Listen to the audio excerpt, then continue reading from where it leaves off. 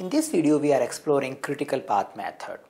The critical path method helps us in arranging the activities based on their dependency and visualization of those activities so that we can identify when the overall work is going to finish. In a project, we may do many things and many things can be done parallelly, but some of the things cannot be done parallelly, they are dependent on some other activities. Now it might be difficult to manage just list of activities and keeping everything in mind that this can be done parallelly and this cannot be done parallelly and you may want to have some mechanism so that you can arrange activities based on their dependencies on each other and find out the overall duration of the project. The critical path method helps us in doing it.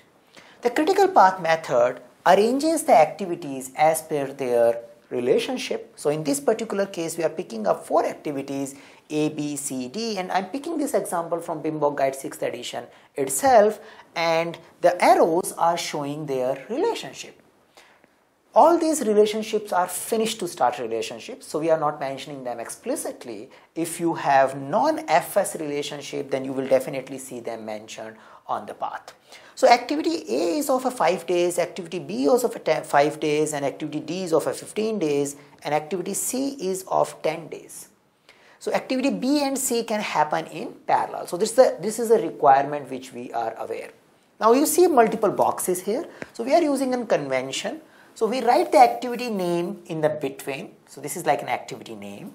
This area we are using as a duration of that particular activity. We will calculate the early start and early finish. So early start we will write here and early finish we will write here. And we will also calculate something called late start and late finish. And there is something called total float which will get written here.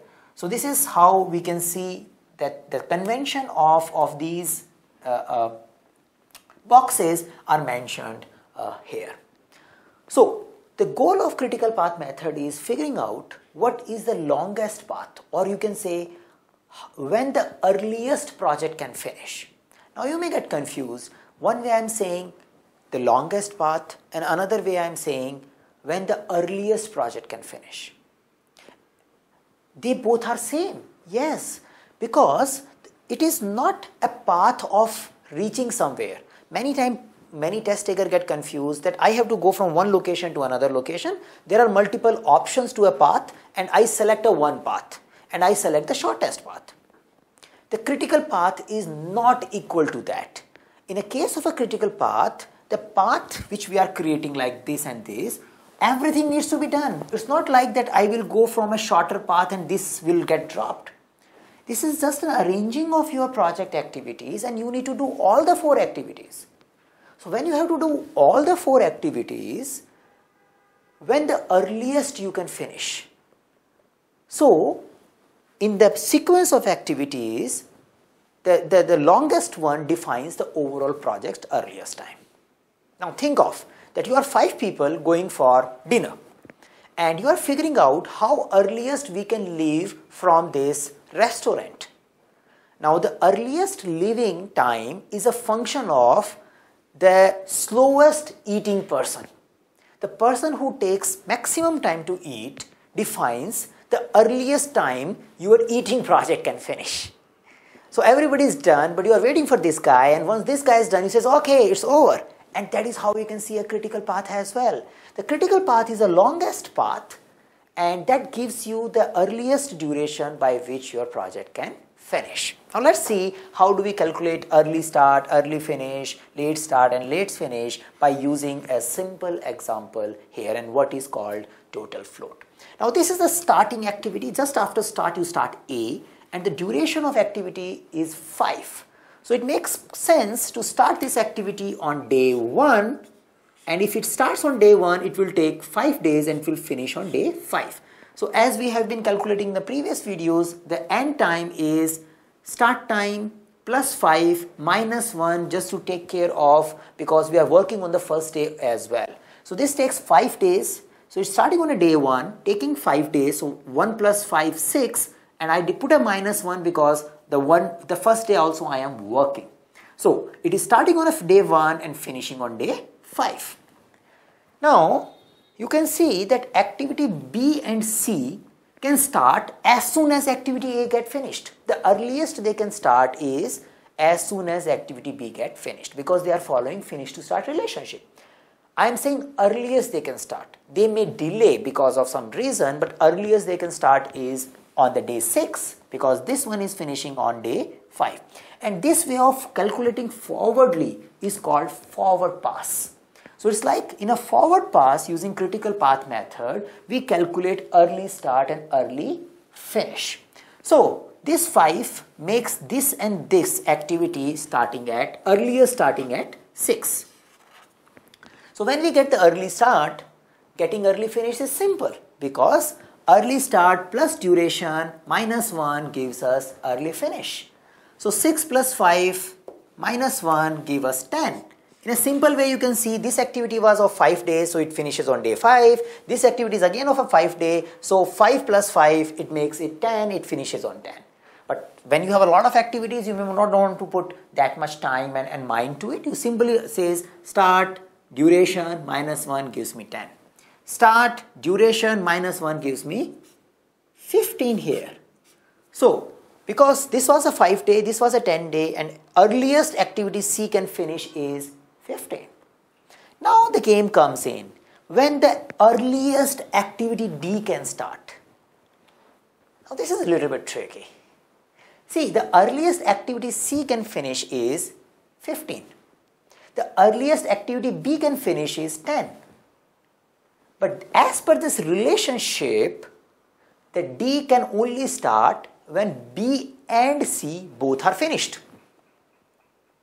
So when the earliest it can start? It can only start when both of them are finished. So we need to pick up the one which is getting finished later. Like the late person, the slowest person eating. So if you have a dependency on two person, maybe after that you want to do something, you need to wait for this guy. So the earliest D can start is after 15 means day 16. So you pick up the maximum. So in, in, a, in, a, in a technical way, you can think of if I have a multiple dependencies, I pick up the one which has maximum end time, maximum finish time. So multiple dependency, you pick the max and on that basis of plus 1, you decide the next duration. So this is how you can mathematically see it. So 10 on 15, which one is maximum? 15 is maximum. I start on 16 and this is over 15 days so 16 plus 15 minus 1 makes it 30 so the earliest this project the activity A, B, C, D project can finish is on day 30 that's it. Now there is also something called late start and late finish. Now you may wonder why do we need that? We already know that this project will take 30 days. That's it. Now there might be some flexibility in some activities. And in order to identify, do we have some flexibility in some activities? And when I say flexibility means even if they get delayed by some days, it doesn't affect someone else. Like the, the party example I took, if there is a slowest person eating, there could be other person who may go for a phone call while eating because he know the slowest person is going to take one hour. Even if you go for 15 minutes phone call, nothing is getting going changed. So we need to calculate that float, that slackness. And that slackness can only be calculated when we start calculating late start and late finish. When I say late start and late finish means keeping the project finishing on date 30 that is our first condition. We are not delaying the project finish date. It is remaining on day 30. How late this activity can start and how late this activity can finish. Now, this is an activity D, the fast activity, last activity, it has to be same. Like it cannot get delayed. If this activity get delayed, day 30 get delayed. Simple. So, this, this activity will have early start and early finish and late start and late finish same because it cannot if it finishes late, it, finish, it delays the project. So I can copy. I can copy the, the late finish to early finish, so early finish to late finish, and I can copy the late start to early start. So this is like I, I did that. Now, there is a third point I sp spoke about, slackness, flexibility. If my late start and early, uh, late finish and early finish has some difference that gives me a flexibility. So the earliest you can finish on day 30, the latest you can finish on day 30. Ah, there is no flexibility because anyway I have to finish on day 30. So this makes me flexibility 0. So I am saying my float for this particular activity is 0 because the late finish and early finish is same, the late start and early start is, is the same. Now let's come towards backward pass. We done with the forward pass, we are coming backward. Now if this activity has to start latest by day 16, it cannot be get delayed by, by more than 16. These two activities must finish by day 15. The late finish for the previous activity is driven by the backward pass, the D. So we are coming back and we are saying that it must finish by day 16. Uh, uh, so it must latest get started by day six, 16. So the latest these two activity can finish is day 15. So we say that you must finish by day 15. Now we calculate if I have to finish by day 15, when can I late start? So again 15 minus 10 uh, plus 1 gives me the reverse order and says that okay the latest I can start is day 6. So late start and late early start is same, late finish and early finish is same, slack float is 0 here. So total float is 0 because there is no flexibility. But here you have interesting stuff. Here the early finish is day 10, but the late finish is 15.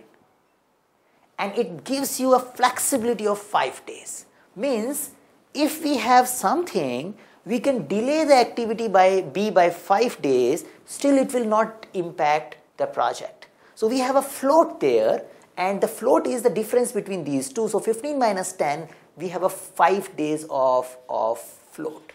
And what is a late start? Late start is 15 minus 5 plus 1. So it can start latest by day 11. Now from 5 came, 5 is the duration, 15 is the latest by, by it should finish. So 15 minus 5 makes 10 and plus 1, so 11. So it, it, it can maximum start by day 11 and it can maximum get finished by day 15 and there will be no impact on the project. Now we take it back we take it back and as we see that activity A is feeding or activity B and C are dependent on activity A. Now activity B can start up to day 11, activity C can start up to day 6, the latest it can start by day 6 only. So the latest this can finish is based on the minimum of these two, not no more maximum because it must finish by day 5 else this cannot start in day 6. So the latest activity A can finish is day 5 so that it can start on day 1 and flexibility is, is 0.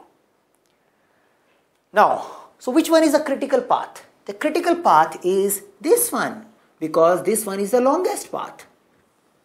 This path duration is 5, 10, 15. This is the 30 path. So this is the longest path. The critical path also has less float or minimum float. Most of the network diagram, it, it will you will see a zero float in a critical path, but mathematically speaking, there could be a situations where you may have a little bit float even on the critical path.